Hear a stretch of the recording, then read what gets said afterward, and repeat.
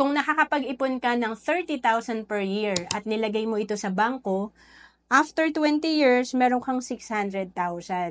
Pero kung natuto kang mag-invest, kagaya ng sa Kaiser na 3-in-1, yung 30,000 mo per year, 7 years mo lang babayaran or iipunin, may healthcare ka pa, may life insurance ka pa, may investment ka pa.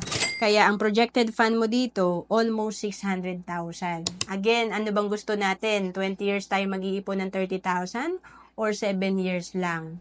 And, ang Kaiser again is parang kape kasi 3-in-1 na. Bukod sa meron tayong investment, dito ay may healthcare din tayo and life insurance. Kaya nga dito madalas nagsisimula ang lahat dahil tatlo naman to na halos wala tayo pa. Kaya kung gusto mo mag-invest sa Kaiser, pwede ka magsimula dito kahit na ang edad mo eh 10 years old to 40 years old, nasa 2,647 per month lang. Pwede ka na magkaroon ng tatlong ito.